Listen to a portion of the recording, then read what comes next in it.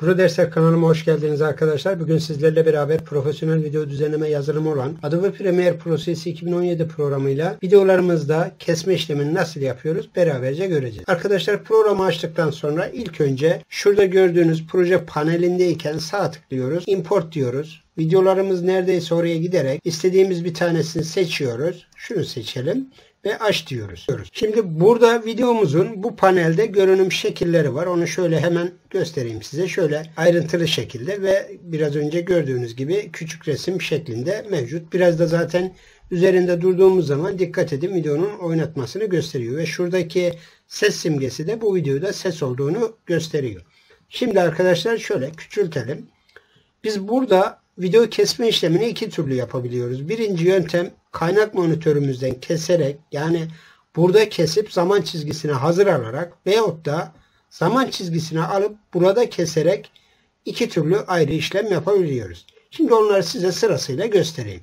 Şimdi burada videomuzun üzerinde faremizin sol tuşuna çift tıklıyoruz.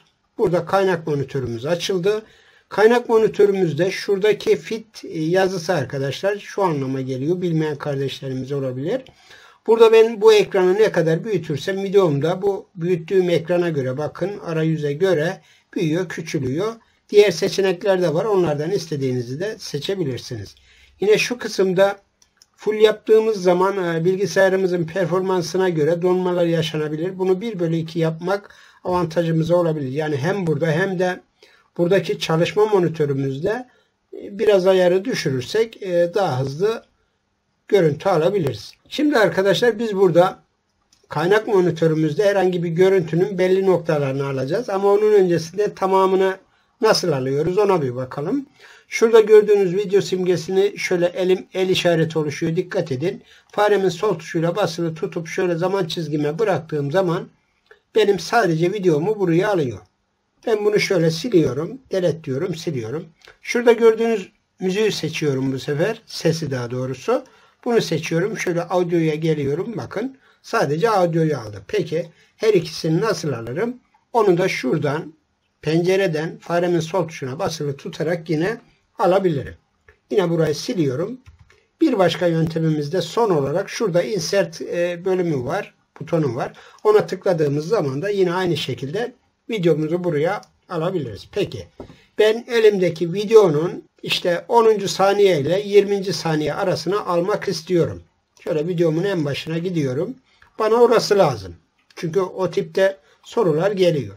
Şimdi hemen arkadaşlar bunu tabi şuradan elimizde yapabiliriz. Ama uğraştırır veya hassas olmaz. Ne yapıyoruz? Hemen şuradaki süre sayacının üzerine gelip buradaki sayıyı 10 yap. Şu anda 10. saniyeye geldi. Dikkat edin e, körsürümüz. Hemen oraya bir tane mark in atıyoruz. Devam ediyoruz. Şuradaki rakamı bu sefer ne yapıyorum? 20 yapıyorum. Ve boşlukta herhangi bir yerde tıklıyorum. Şimdi 20. saniyemizde burası. Mark out diyorum. Dolayısıyla bakın şurada benim istemiş olduğum 10 saniyelik bölümü ayırdı. Ne yapıyorum? Hemen bunu alıyorum. Buraya bırakıyorum. Şöyle ekranda göstereyim. Bakın şu anda 10. saniye çizgisi burada. Sadece 10 saniyelik bölümü aldım. Yine devamında örnek veriyorum. Biraz daha oynattım. İşte burada durdum diyelim. Yani o ara bölümü istemiyorum. Tekrardan bir markin attım. Biraz oynattım. Şöyle hızlı oynatayım zaman kaybı olmasın. Marko attım. Bu sefer de burayı aldım. Tamam Böyle böyle. Yani e, buradan ayarlayarak da direkt e, zaman çizgimize kesilmiş olarak atabiliriz. Peki. Şimdi burayla bizim işimiz yok. Burayı kapatacağız. Bitti burayla işimiz. Close panel dedikten sonra kapatıyoruz. Şuraları kapatalım. Evet. Audio mikseri de kapatalım. Audio kontrol şey efekt kontrol dursun. Peki.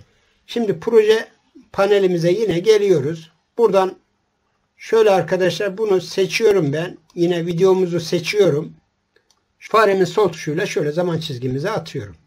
Şimdi burada önemli olan nedir? Burada arkadaşlar bize ne lazım? Video ve müzik lazımsa, ses yani lazımsa her ikisini ortak e, kesebiliriz. Veya bizim müzikle işimiz yok, sesle işimiz yok diyorsak ne yapıyoruz? Hemen buradayken dikkat edin faremin sağ tuşuna tıklıyorum. Anlik diyorum ve ikisini ayırıyorum. Şöyle bakın dikkat edin ayrı. Şu anda ses burada ve delete diyerek sesi siliyorum. Evet. Şimdi burada videoda kesme işlemini nasıl yapıyoruz arkadaşlar? Aslında hemen hemen mantıklar aynı birbirinin bu tip programların. Örneğin ben buradan itibaren yani yine şey olsun bu tip sorular yine sıkça soruluyor. Kardeşimiz diyor ki ben 10. E, saniye ile 15. saniye arasını hızlandırmak istiyorum, yavaşlatmak istiyorum, sesini kısmak istiyorum gibi değişik istekler olabiliyor. O zaman ne yapıyoruz? 10. saniye ile şu anda 10. saniyeye geldi. Ne yapıyoruz? Klavyemizden C harfine de basabiliriz. Razor Tool arkadaşlar. Şurada gördüğünüz jilet var. Yani bu programı yapanların içerisinde bir tanesi Müslüm Babacıymış. Şimdi bu jileti alıyoruz şöyle. Hemen buradan buraya bir tık atıyoruz. Ne oldu? Kesti. Devam ediyoruz. Şuradan 20. saniye diyorum hemen ben.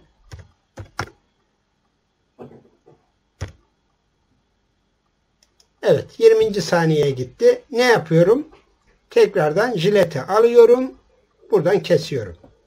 Şimdi burada dikkat edin arkadaşlar. Şimdi ben bunları istediğim gibi taşıyabilirim. Şimdi Ctrl Z ile yaptığım işlemleri geri alıyorum. Ne yapıyorum? Buradaki örneğin şu videoyu ben hızlandıracağım. Bunu nasıl yapabilirim? Hemen klip menüsü altından Speed Rotation yani Ctrl R harfiyle de bu işlemi yapabilirim. Hemen burayı seçiyorum. Bu gelen ekrana ne diyorum? %400 diyorum ve OK diyorum. Evet. Şu anda gördüğünüz gibi videomuz hızlandığı için bu arası çok kısaldı. Hemen şöyle bir oynatalım görelim. Evet. Çok hızlı bir şekilde oynadı. Peki. Şimdi tekrardan geriye alalım. Yani bu şekilde de burada kesmeleri gerçekleştirebiliriz. Örneğin şöyle kesiyorum yine. Birkaç yerden keseyim size bir şeyler yine göstereceğim. Şöyle buradan ve buradan. Yeterli zannediyorum. Evet. Şimdi bakın dikkat edin arkadaşlar. Şimdi diyelim ki buradaki parça e, sileceğim ben bunu. Ne yapıyorum? Hemen şuradan select aracını alıyorum. Bunu geldim sildim. Dikkat edin eğer buraya başka bir parça yerleştireceksem burayı boş bırakıyorum. Yok başka bir parça yerleştirmeyeceksem ne yapıyorum arkadaşlar? Örneğin ben şunu seçtim. Buraya başka bir parça yerleştirmeyeceğim. Şuradaki videomun buna da yaslanmasını istiyorum. Ne yapıyorum? Buradayken sağ tıklıyorum. Ripple delete diyorum. Yani aradaki boşluğu kapat. Şimdi bakın kapattı şu anda. Yine örneğin bakın bunu seçiyorum. Şöyle Ripple Delete diyorum ve bunu da seçti. Bu farkı görün diye size gösteriyorum tabi. Yani normal silme ile Ripple Delete yani kapatarak sil demenin farkı bu arkadaşlar. Böyle elimizle tek tek oynamamıza da gerek yok. Dolayısıyla gerçi e, burada şu var. Tabii ki mıknatıs özelliği var. Yaklaştığımız zaman e, snapshot e, kapıyor onu da yine de böyle olması çok çok daha güzel.